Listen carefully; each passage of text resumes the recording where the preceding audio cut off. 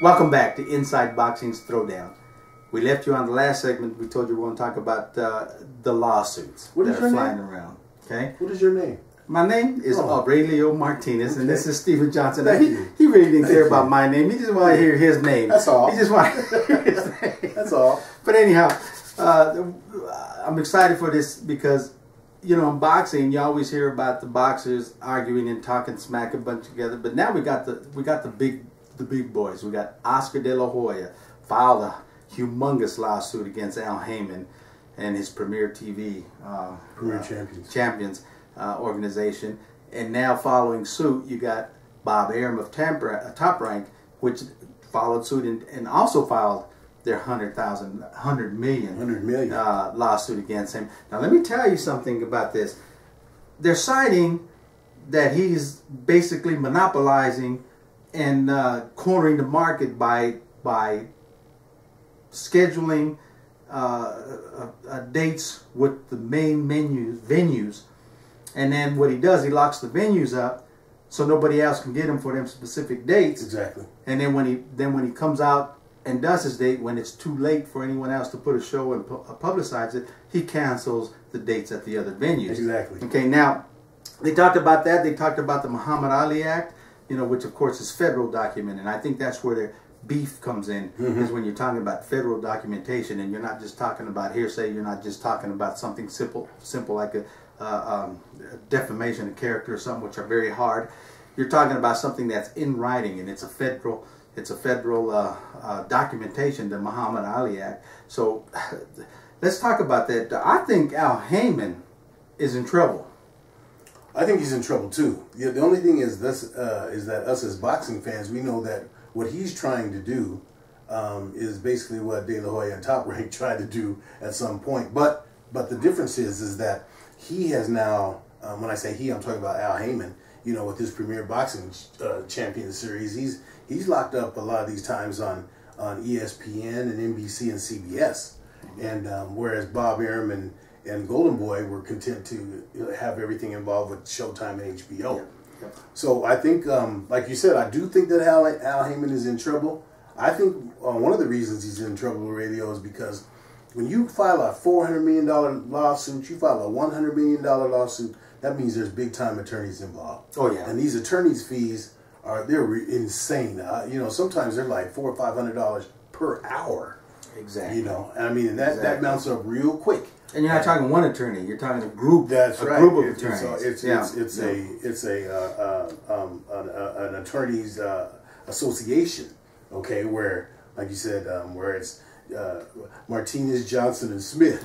Okay, where all three of us are going to be in on this, and that's what he's looking at. And I don't know how long CBS and NBC, you know, and ESPN would want to be part of that. You know, putting that bill for that because they will be part of paying that bill, no, no matter how it all comes out. When you look at the bottom line, Well, sure. the money they're paying to him, Haymon, a bunch of that has to go him. He's got to do something.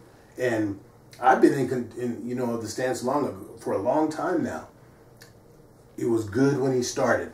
Everyone was like, "Hey, these, we're seeing some fights we like to see," but he was paying guys million dollars, seven hundred fifty thousand dollars. We're like, "How long is this going to last?" big money. yeah. Okay, and so see now we're at the point where this is all coming to a head. Like you said, I think Al Haymon is in trouble. And the comment that one of his groups of attorneys came out and they said, "All this is just uh, basically you know sour grapes," and I'm like, "Okay, well, you kind of do when you say it's just sour grapes. You're not giving us any substance to why it's not. You know, there's no grounds for it. Yeah. Yeah. Sour grapes. Sometimes sour grapes is legitimate. exactly. I mean, of course you're going to have sour grapes when uh, someone's doing something that's treading on on, Your on ground. being illegal. Heck You know, being ill- and, uh, but he's in trouble not so much because Al Haymon doesn't have four hundred million dollars in Well, the bank. that's- okay, that's first. the thing about it is, what if his uh, sponsors, the people backing him up, the financial backing behind Haymon, the That's financial exactly backing right. behind paying these athletes these big money, he can't pay them if they pull. And, and I'll tell you, that's that's the danger he has right now because I think you're going to see that in the next move because it's not Al Haymon that's going to have to settle this in court. It's his financial backing. Okay, they're the ones that are going to have to hire the attorneys and do this because they're the ones that are liable. They're the ones that are going to have to pay pay all this. Okay, you can you can take Al Haymon's house away or whatever you want, but it it's it's not it's not going to hurt him as much as just destroying his boxing venture as much as it's going to hit the big boys that are financially backing him in the pocket. Yeah. Okay, so I think the I think one of the West best ways for them to settle a lawsuit and go back to Arum and and and, then, and, and settle before court, saying, okay, well, we're canceling him, we're we're withdrawing. That deal is dead. Mm-hmm. Okay, and ha- there's no way, no way in hell Al Haymon can continue with his contracts with the TVs, the NBC, and all this stuff when he doesn't have that money behind him. Well, like I said, Just doesn't happen. Aurelio, he would have to go to them and say, you know, I need more money, and they're, they're, first thing that they would say, you know, um, I, I would imagine that they're, you know, they've got somebody there and uh, that has their, you know, finger on the pulse of boxing, and they say, well, first thing we're going to do is you're going to have to drop these um, these salaries that you've been paying these guys. yeah. And see, he's been promising everybody big money. And up to now, up to now, he's been paying big money. Yep. But we, that was one of our concerns in the beginning was how long would he be able to, con- to continue paying this big money Mm-hmm. for what he calls the up and coming uh, fighters to keep everybody interested. Well, see, see, there again, there again, Steve. It's easy to spend someone else's money. Like Exactly. you, you want to go eat some uh, steak? You pay, you pay.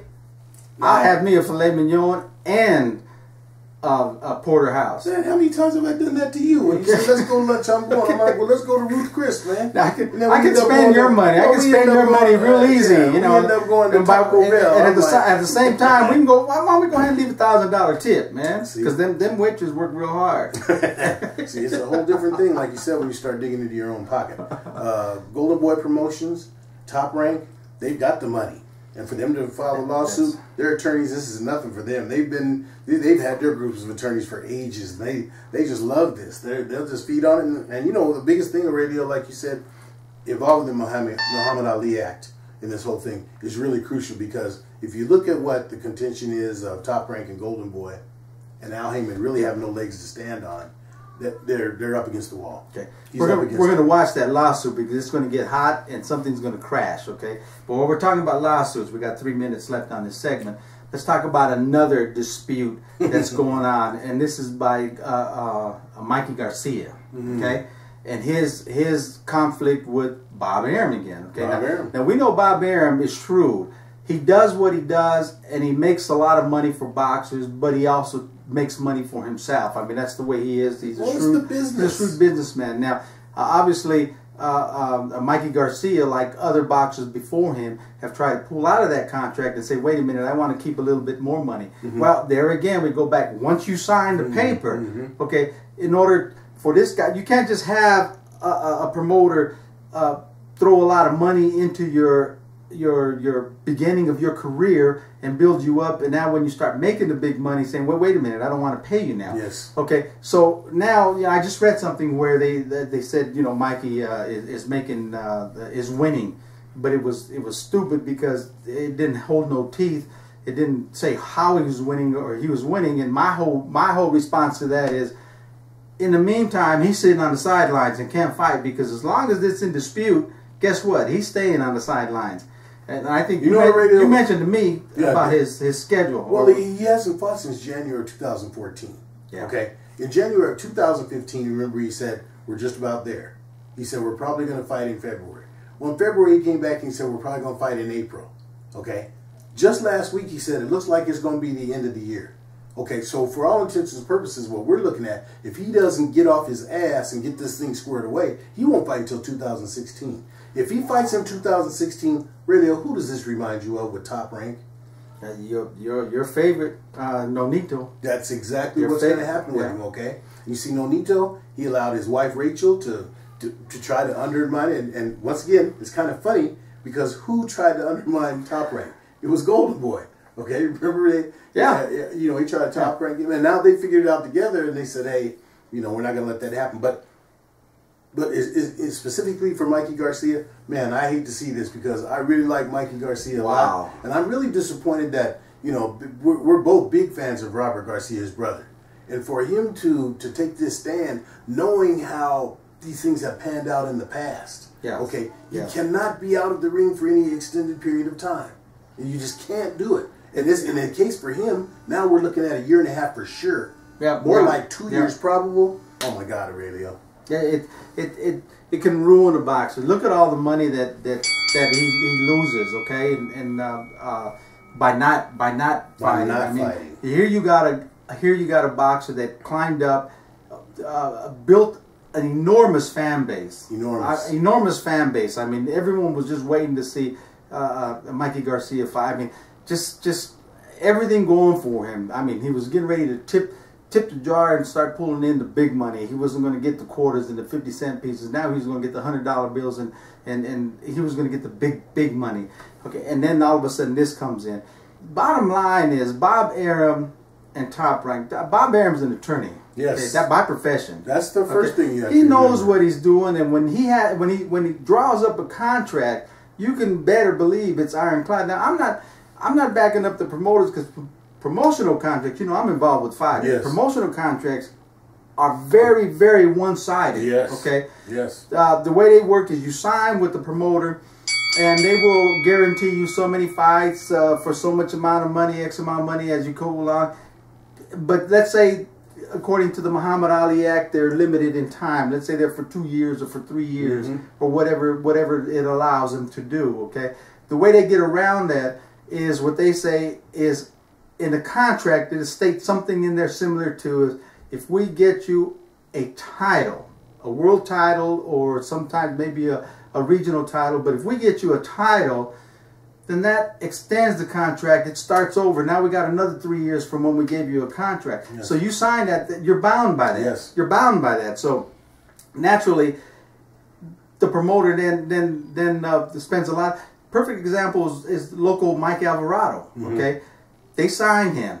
Okay, uh, uh, they guided his career. They, they they they put him in with a lot of good names that were beyond their their their uh, their career best. Okay, so he started to get names. They started to spend. I mean, they're giving Mike and they're giving these other guys purses of ten, fifteen thousand uh, dollars per purse. So you're making decent money as you're climbing this ladder. Mm-hmm. So now when you get into where you're making the six figures, where you're fighting Brandon Rios and that, okay, top rank is cashing back in. Mm-hmm. Okay, but at the same time they're making you money. Mm-hmm. Okay, so so fighters have to understand when you're signing a, a contract, you have to understand what happens when and if you make it. And okay? and not only that, Yeah. you hit the nail on the head.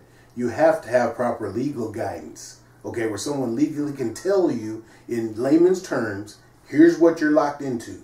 Okay, so then the negotiations come in, and you can decide if you want to from there. But like you said, um, But see, Bob Arum being an attorney, he has shown over the years Here's- that here's the- you're not going to beat him in that. So fight it out, like you said, Mikey Garcia. Get back in there, man. Fight, fight for the rest of this contract, however long it is. Then you're free to go. But you can't stay on the shelf. You just cannot stay on the shelf. Because I'll tell you what, you you uh, you wait another year and you're out two years. Guess who's waiting for you? Nicholas Walters. He's gonna say, "Come on." Oh man, He's gonna come on. There's He a lot says- of people waiting. Yeah, on. I mean, it's just it's just so so. Basically, boxers, you're kind of you're kind of in a between a rock and a hard Damned if place. you do damned if Well, you because don't. when you're starting, you have nothing. Right. So now you have someone like a Bob Arum, Oscar De La Hoya, uh, uh, uh, any of these uh, big promoters that say, okay, we're gonna we're gonna guide your career, we're gonna boost you up, we're gonna give you a good salary, we're gonna pay for training, we're gonna do this, but this is the consequences. If you go back to them and try to negotiate and say, okay, but if I win a championship, I don't want it to extend three years. Guess what? They're gonna tell you go. That's right. You forget that. So,